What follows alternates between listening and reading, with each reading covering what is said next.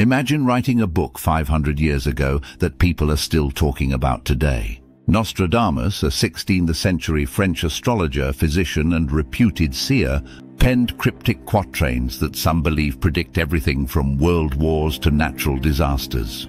But how much of it is real? Are these just coincidences or something more?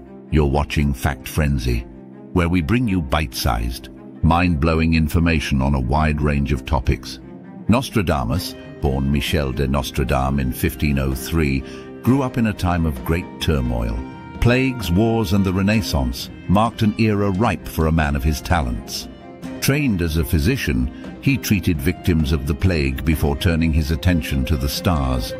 His book, Les Prophéties, published in 1555, contains 942 quatrains, four-line verses written in a mix of French, Latin, Greek and other languages. These verses have fascinated and perplexed readers for centuries, but what makes them so compelling? One of the most famous quatrains is said to have predicted the Great Fire of London in 1666. The blood of the just will be lacking in London. Burnt up in the fire of the 66, the ancient lady will topple from her high place. Many of the same sect will be killed. The fire did indeed devastate London, starting in a baker's shop and destroying much of the city. Coincidence? Perhaps. But it's the specificity of 66 that makes people wonder. Was Nostradamus truly seeing into the future? Fast forward to World War II, and people point to another of his quatrains. From the depths of the west of Europe, a young child will be born of poor people. He who by his tongue will seduce a great troop, his fame will increase towards the realm of the East. Many interpret this as predicting Adolf Hitler's rise to power. Born in Austria to a modest family, Hitler's powerful oratory skills and subsequent rise did lead to global conflict aligning eerily with Nostradamus's verse. Yet, skeptics argue that Nostradamus's quatrains are so vague and open to interpretation that they could be twisted to fit countless historical events. After all, hindsight is 2020ths. But here's where it gets really interesting. Nostradamus didn't just focus on his era, he predicted far into the future.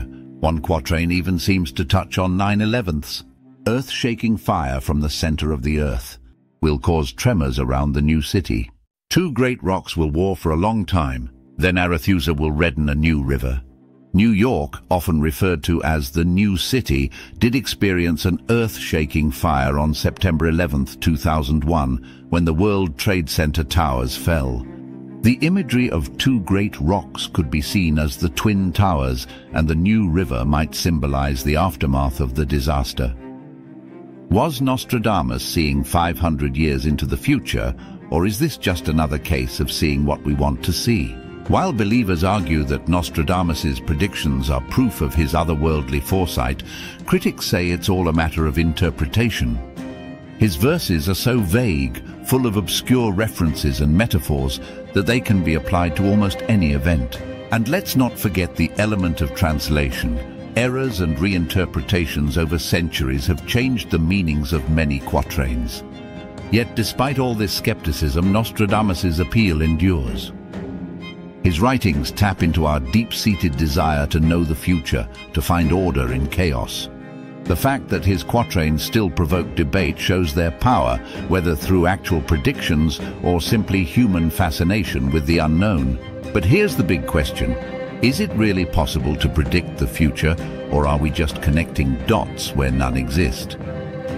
Nostradamus remains a figure of intrigue, and whether or not you believe in his prophecies, there's no denying the lasting impact of his work. So, what do you think? Was Nostradamus a visionary, a fraud, or just really good at writing in riddles? Let us know in the comments below. Enjoyed this video? Don't forget to like, follow, comment and share. For more mind-blowing content, stay tuned to Fact Frenzy.